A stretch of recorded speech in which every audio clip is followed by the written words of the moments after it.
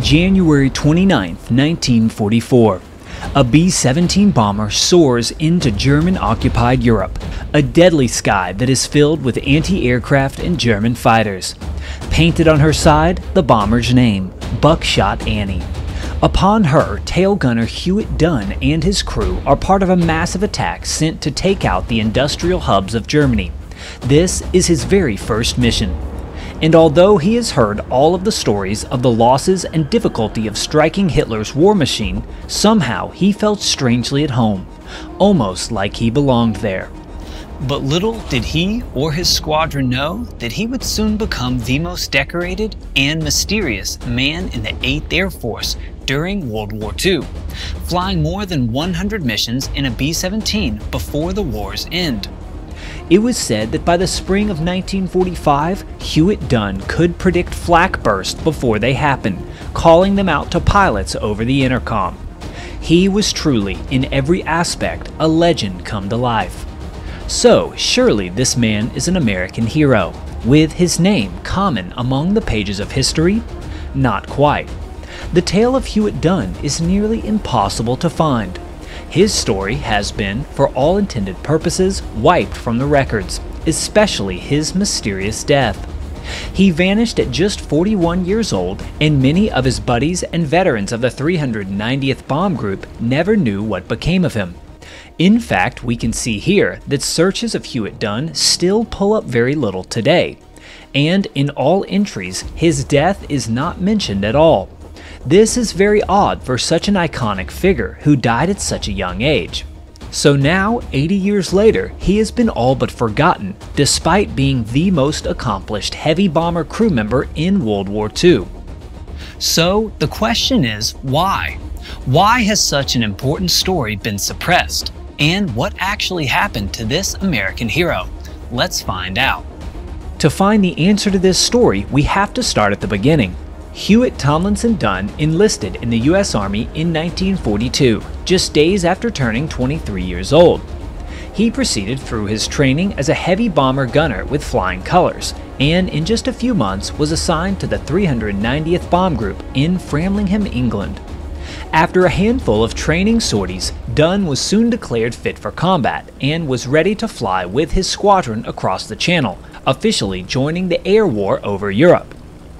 At this point, Dunn was assigned to be a tail gunner, riding alone in the cold, exposed rear of the B 17's unpressurized fuselage. This would be the first of his 104 combat sorties during World War II, and it was not any old milk run either. January 29th of 1944 saw the largest attack put forward by the 8th Air Force on a single target up to that point of the war. Their target was the industrial heart of Frankfurt, Germany, a valuable hub of production which was known to be heavily defended. Dunn and the members of the 390th on this particular day were lucky. Because of their position in the group, they ran into no fighter defense and minimal anti-aircraft or flak. They had already begun their trip back home by the time the fighters were able to be scrambled and flak teams could hone in on the bomber stream. Because of this, from the tail, Dunn could only watch as he observed the contrails of enemy fighters weave through the bomber formations behind him amid puffs of black smoke. It could have very easily been him there instead, but it wasn't. That was war. For Hewitt Dunn, it was one mission down, 103 left to go. In the next few weeks, he would see more missions in various aircraft as the winter of 1944 came to an end. Each one gained him valuable experience and time in the air. In fact, his first daughter, Donna Lee, was born on February 25th of 1944. And on that very same day, Hewitt was flying with the 390th as a tail gunner aboard B-17 Gung Ho in the skies over Nazi-occupied Europe. This would be his ninth combat mission, and the target was Regensburg, Germany. Like his first mission, the following few bombing runs would see Dunn assigned to his position in the tail gun, always watching for opportunities to defend his aircraft and crew. But as he went along, it became clear that the German attack strategy was head on runs at the bomber formations, and so it became more valuable to keep the best gunner in the nose of the aircraft rather than in the tail.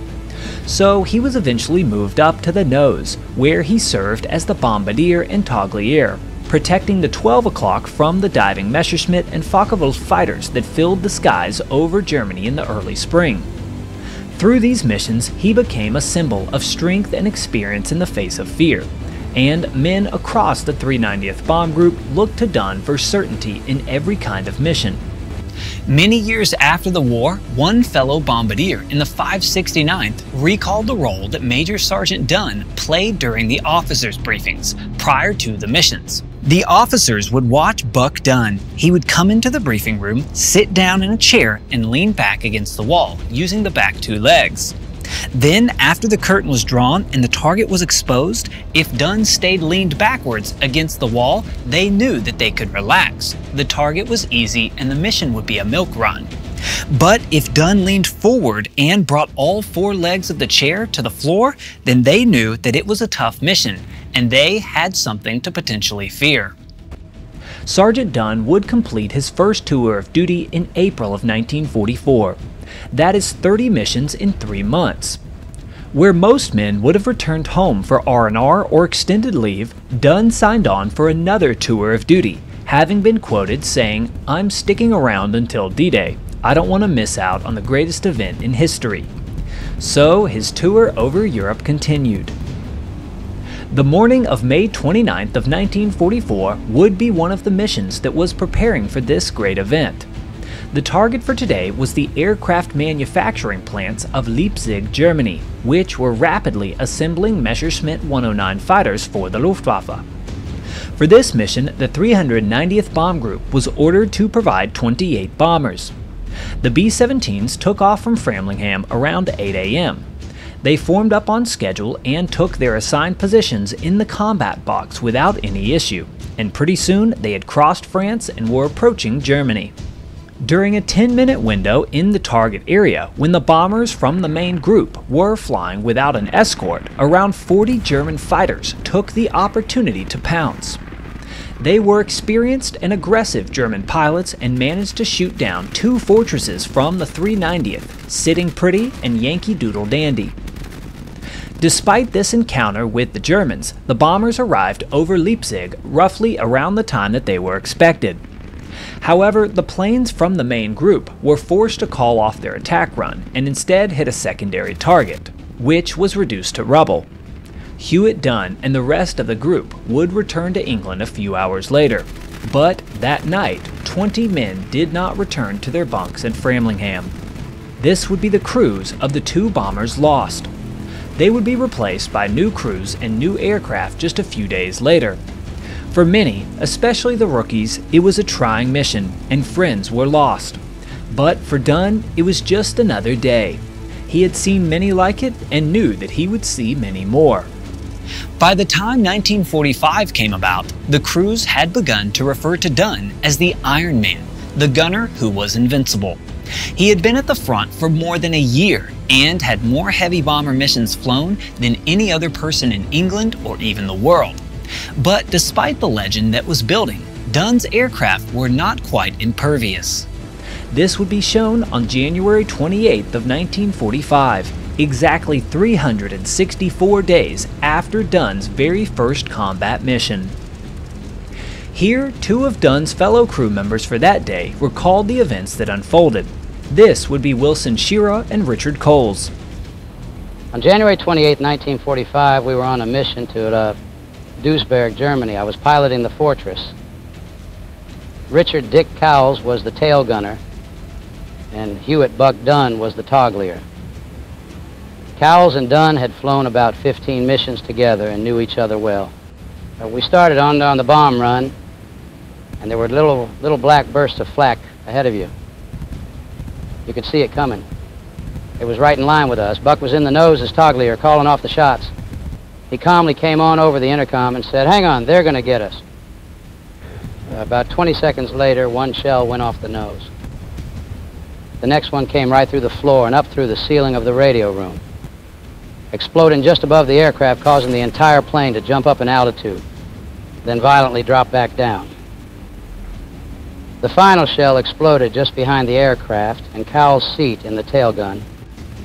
When we were hit, I just figured we got it. I didn't know where. The ball turret gunner was screaming because he couldn't get out. He didn't have any power.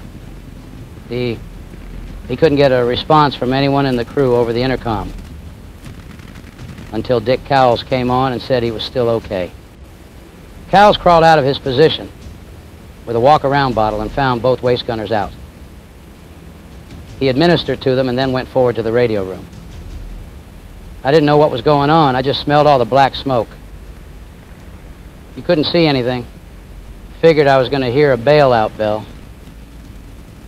Because the minute that thing hit and exploded, the aircraft went up and then just dropped like a rock from the explosion. All of the radio sets were gone. Part of the bulkhead was gone. There was a big hole in the top of the aircraft, and the control cables were hanging down like spaghetti. Dunn's intercom connections from the nose had been severed, and it was unclear if he was still alive and able to drop the payload. Amazingly, the radio operator was alive.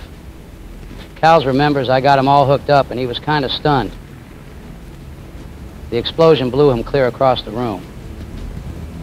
If the radio operator hadn't turned around in his seat, he would have gone right up through the top of the aircraft and would have been long gone. I'd put the plane on automatic pilot and came to the back to assess the damage to the control cables. Then, with help from the revived crewmen, removed the ball turret gunner, who was okay. We continued over the target, flying on automatic pilot, and Buck Dunn triggered the bombs away when the group dropped. And we missed getting hit in the bomb bay by maybe eight feet.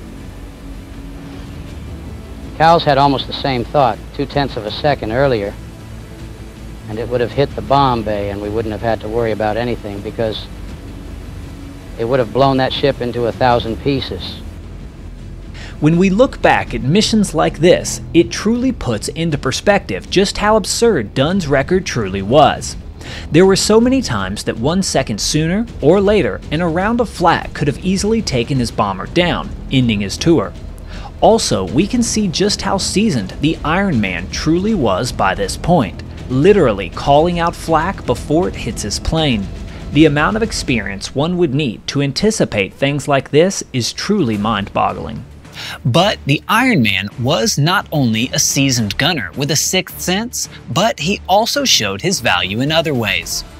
On this raid, the group saw more than 700 bombers set out for England with orders to destroy a naval shipyard. For this sortie, Hewitt Dunn was assigned to the tail gunner once again, aboard B 17 Buckshot Annie. Surely, the crew of Buckshot Annie thought that they were safe with the good luck charm on board, but they would be wrong. Leading up to the bomb run, the 390th found themselves forced to climb up to 28,000 feet above a cloud bank to provide cover from the relentless flak that they were seeing over Germany. This was 5,000 feet higher than the planned altitude for dropping the payloads, and it would be more difficult to hit their target, but it was supposed to keep the crews safe. This decision was made because the submarine yards had become notorious for dealing heavy blows to the bomber crews. Their anti-aircraft defenses were second to none. This decision, though, would still not keep the crew of Buckshot Annie safe. Despite their conservative decision, one of Dunn's fellow crew members, Joseph G. O'Hara, was wounded by flak while over the target in Wilhelmshaven, Germany. With the lack of enemy fighters on this mission, however, Sergeant Dunn was able to leave the tail and help alongside other crew members, hooking O'Hara up to oxygen and providing first aid to shrapnel wounds. He remained with his injured crew member for the entire trip back to England, and thanks to Dunn's help, O'Hara survived the mission and would go on to finish his 30 mission tour as a bombardier with the 390th. The value of Dunn as a member of the bomb group eventually became so high that sometimes fellow crew members would go to drastic measures to keep him safe. On March 21st of 1945, Sergeant Dunn was flying on his 94th mission, where he elected to fly in a different position, one that he wasn't used to. For his first and only time in his career, he chose to sit in as the top turret and engineer. The flight was underway with all going seemingly fine. Prior to reaching the target, however, Dunn's oxygen mask and regulator system became unhooked, and soon he collapsed in the top turret. Because of his size, being a star football player, he had fallen with his head in a position in the top turret that made it difficult to get his oxygen mask back on. The pilot, Lieutenant Mel Myers, got out of his seat to administer oxygen to Buck, but he did so without any walk around oxygen of his own, and quickly passed out himself.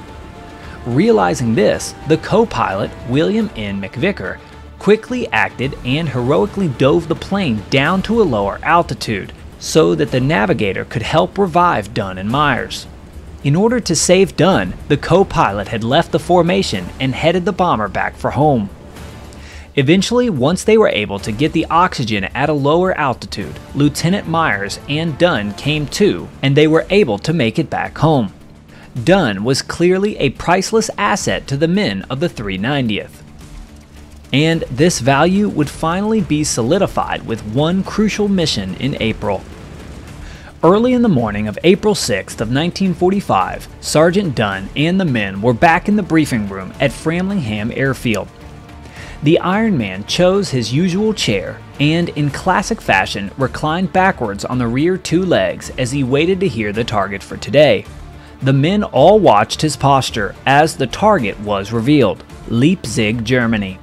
Sergeant Dunn slowly guided the chair forward onto all four legs as he studied the mission details. Here, a tense air took over the briefing room. The men knew all too well what this posture meant. Leipzig was no milk run. The airspace over that city was all too familiar to Hewitt Dunn, having already been credited himself with shooting down an enemy 190 months earlier on another raid to the same area. And now it would be the location of his 100th combat mission. Here, 37 planes of the 390th took off for England and headed out including the Great McGinty, with Sergeant Dunn in the nose as the bombardier. Thick clouds concealed the target, but the fortresses dropped their loads. After watching their bombs strike the target, they turned away and headed to England. The tense atmosphere from earlier in the day began to lighten with every mile flown. Where was the enemy resistance? Flak fire was reported as meager and inaccurate at best, and the bombers of the 390th encountered no fighters. The formation returned to England that day with zero aircraft lost and no casualties, which was unusual. Sometimes you just got lucky, and that was the case today. But regardless, he had done it. The seasoned crew of the Great McGinty piloted by Lieutenant Melvin Myers, had just helped 24 year old Sergeant Hewitt Dunn reach one of the most historic milestones ever achieved by any aviator in World War II, surviving 100 combat missions over Europe in a B 17. The average lifespan of a B 17 itself in the 390th Bomb Group was just 33 missions. Sergeant Dunn had just flown three times that and still signed back on for more. He would fly four more combat missions before the war's end. But this would not be the end of his story. In fact, the real mystery was just beginning. In the years following World War II, Dunn remained in active service, serving with many other bomb groups all the way into the early 1960s. He was, to say the least, one of the most revered and decorated enlisted veterans in the entire Air Force. That is, until one day in 1961, where, according to most sources, he simply died at the age of 41. No other info is available, and details on this event are essentially non existent. When veterans from his squadron and the bomb group found out that the Iron Man of the 8th Air Force was dead in his early 40s, they naturally had many questions. A group of them even inquired with local police in Merced and in the town of Victorville, California, as well as his unit in the Air Force, but still they were given no answers. Even local newspapers turned up cold for many years. And while Major Sergeant Dunn was well remembered by the 390th Memorial Museum and veteran memoirs for many years, he remained a ghost in World War II history, rarely being mentioned at all in documentaries and historical discussions. But why? We decided to dive into the archives and find out the reason that this hero was wiped from so many records. In doing so, local journalism proved to be the only remaining official record of how Hewitt Dunn's tragic death came about and the answer to this question. Understandably, after the war, Dunn's personality changed. Like many veterans, after seeing so much death and loss, not everything was right. Somewhere, deep down, Dunn likely still had his own battles that he was fighting, and it was noted by Dunn's superiors working on Castle Air Force Base that he had recently been given a low proficiency rating, which had labeled him as argumentative and unsocial, following a denied promotion. He was frustrated and no doubt felt underappreciated, still dealing with the difficult memories and trauma of war. One night, Dunn and his wife Peggy went out drinking at the Non Commissioned Officers Club at Castle Air Force Base. When they returned home to their eight acre farm, Hewitt and Peggy got into a serious argument. Hewitt then began beating Peggy, seriously injuring her in the front yard. When she came to, she saw their young son Craig in front of the house with a rifle in hand aimed at Hewitt Dunn. He fired five shots at his father, killing him on the spot. Little Craig was simply trying to protect his mother. After the incident, some publications disclosed Dunn's death as a firearms accident, with one newspaper even going so far as to state that Hewitt was teaching his son about firearm safety when the rifle went off by accident.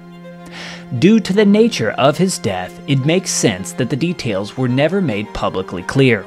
The last thing many people, and especially the U.S. Air Force, would want is to tarnish the record and reputation of one of the nation's most storied military veterans, especially in the middle of the Vietnam War. But that is the truth of his death, and that is how the story was suppressed. Despite this tragic ending, Hewitt Dunn is without a doubt an American hero simply one that kept fighting his own battles after the war ended and made a crucial mistake. He is a man that achieved something no other heavy bomber crew member ever did.